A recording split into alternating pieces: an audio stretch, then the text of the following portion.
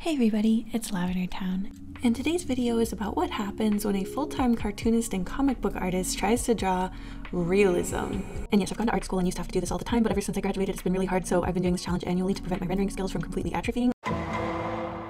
This first attempt I'm doing here is based on a reference picture I took of my own face um, with some strong lighting and in black and white.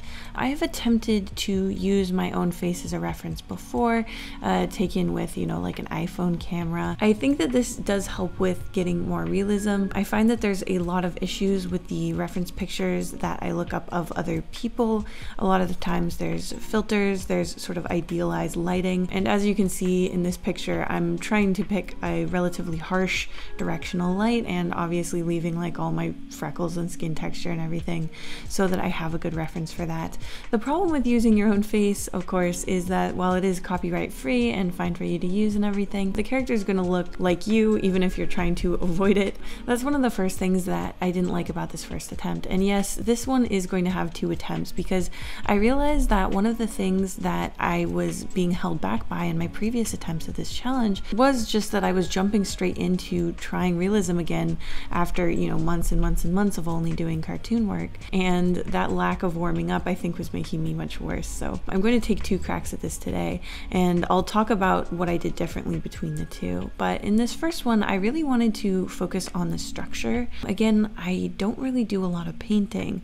So switching my mind from lines to planes and shapes is always something I find a little difficult. I think that it was a a good intentioned idea to look at my face in black and white. It definitely did help me focus on like the tones and everything. But something that I realized also that I didn't really love about my previous attempts was that after I think 2020, uh, she started getting more and more in shadow. And it got really intense last year, or I guess it was two years ago um, in 2020 when I drew her. And honestly, like her eye is so in shadow, you can barely see it. And it's just it's a little too intense i think. I think i was using that as a way to really highlight the forms and make it more dramatic but i don't think it's actually a good like realistic depiction of the source. Um, so i'm also going to try to sort of lean away from that. Uh, you'll also see me using like sort of an overlay layer on top of my tonal sort of sculpted out painting and i find that while this is a quick way to get color into something that you've already done in black and white it it does end up looking kind of muddy and desaturated and strange. I don't like it as much. I feel like her skin in particular looks so dead. It was nice to be able to just like sort of patch in all these colors. You can see me here trying to fix the muddiness and the dullness of the painting by splashing in some bright areas, again with more overlay layers and digital effects. When I flip it, uh, I definitely felt like her facial features were sort of in the wrong place. I tried to kind of scooch them over, but I I really should have done this flip earlier before I had done so much um, rendering around these facial features. Uh, this is something that I have recommended recently in a short where you dash in the points where the nose, eyes, and mouth are going to land um, before you do any more serious rendering of any kind, even if you're doing cartoony work, before you get into drawing like eyelashes and the iris and everything, you really want to make sure that you have your placement perfect because otherwise it just makes it harder to move everything around to where it should be.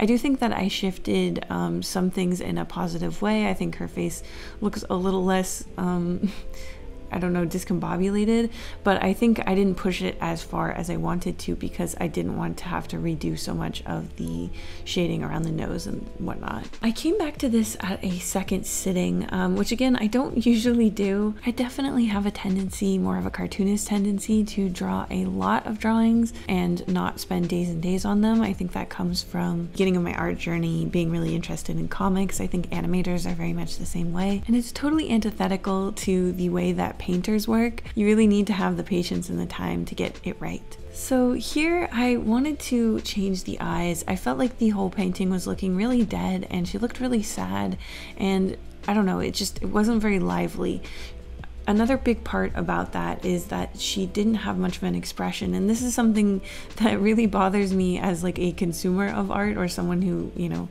likes to look at paintings. I'm always bummed out when the characters are really not expressive, but I get why that's so common because it's so much easier to draw a face that is not really emoting without having to worry about how emotions sort of bend and twist the face and the skin. I thought that I could fix this just by changing the eyes, and I tried this technique that I had seen another artist do where you draw like the whole eyeball and then draw the eyelids around it. And that was a monumental mistake. Um, I honestly really creeped myself out while I was working on this, and I think that she looks terrible.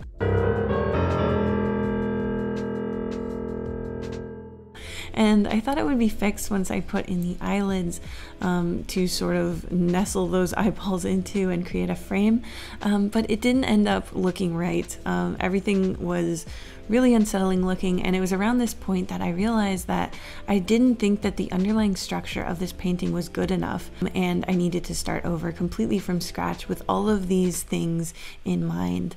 I had a lot of faith that I could do a better job if I just started over.